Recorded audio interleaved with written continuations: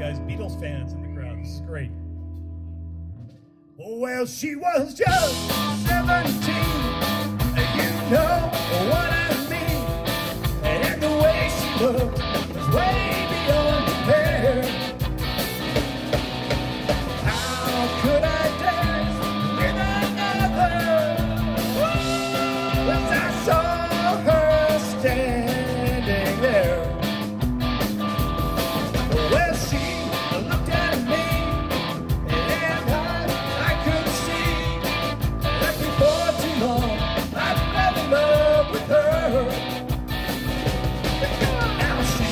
never